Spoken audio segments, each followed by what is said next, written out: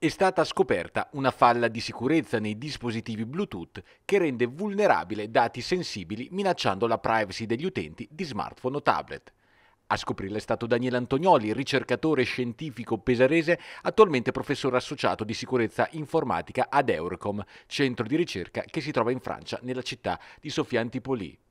La falla è stata etichettata come BLEF, acronimo di Bluetooth Forward and Future Secrecy, ed è una scoperta con intuibili ripercussioni tecnologiche a livello internazionale, come presentato nei giorni scorsi da Antonioli a Copenaghen. Con questa scoperta abbiamo isolato dei nuovi problemi di, di, di sicurezza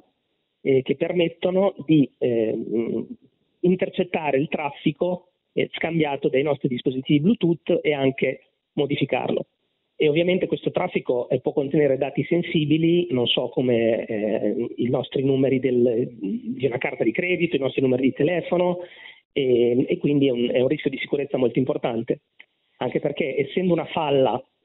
che ehm, colpisce diciamo, lo standard Bluetooth, il documento che descrive come funzionano queste comunicazioni, questa falla poi è, è presente in tutti i dispositivi indipendentemente da chi ha creato il dispositivo. Quindi eh, parliamo dei nostri iPhone, telefonini Android, eh, i, i, Mac, i, so, i, i, computer Windows, quindi indipendentemente da, da chi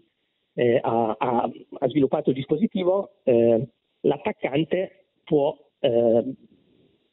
compromettere questo dispositivo. Scoprire la falla ha permesso anche di impostare un lavoro su nuovi anticorpi di sicurezza da applicare ai dispositivi. Abbiamo sviluppato anche poi dei meccanismi di, di sicurezza eh, migliorati per poter, potersi proteggere da, da, questi nuovi attacchi. E, e questi, questi, meccanismi di sicurezza li abbiamo proposti al consorzio che gestisce lo standard Bluetooth,